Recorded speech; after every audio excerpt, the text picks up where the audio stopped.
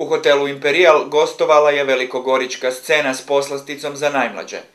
Predstava Crtančica, za koju tekst i režiju potpisuje Ana Savić-Gecan, na maštovit nam način kroz formu dječjeg risanja prenosi poetsku priču o imaginarnom danu jedne djevojčice.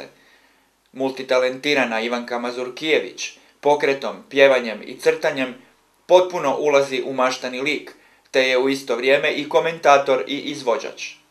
Predstava Crtančica potpuno neočekivano započinje tako da iz potpunog mraka izvrni lik koji se obrati djeci u gledalištu. Rijetko tko bi se bez rizika odlučio na ovakav redateljski pristup. Mrak je pojava koju djeca doživljavaju kao nešto nepoznato, tajanstveno ili kao strah. No Ana Savić-Gecan koristi mrak u predstavi kao pozadinu za svoj pedagoško-etički projekat kojeg je ostvarila zajedno sa Ivankom Mazurkijević.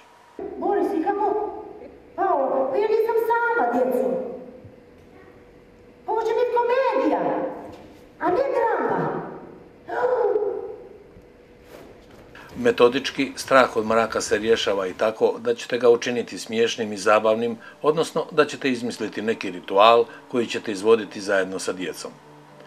Ivanki Mazurkijević je bilo potrebno svega nekoliko minuta da uspostavi kontakt sa gledalištem kako bi omogućila nastavak predstave kojoj je mrak bio neophodno potreban iz tehničkih razloga.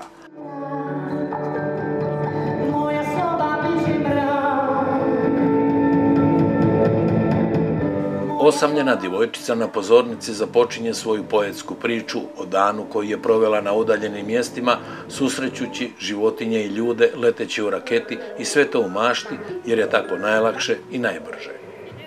Ipak svako mjesto i svaki objekat na tom putu treba prepoznati i nalazi se u gradu čije ime treba pogoditi. Maštovita scenografija sa filmskom izmjenom slika u pozadini je sama po sebi toliko kreativna da zajedno sa kostimima trenutačno pobuđuje želju djece za sudjelovanje.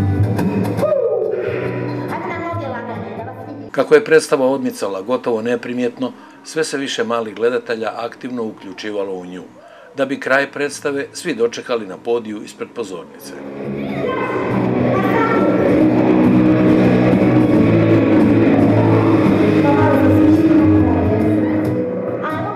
Poruka autora da se u životu može jednako vrijedno izražavati ne samo verbalnim, već i likovnim sredstvima, kao i aktivno sudjelovati u predstavi, našla je drugu stranu, sa oduševljenjem je prihvaćena od malih opatijaca.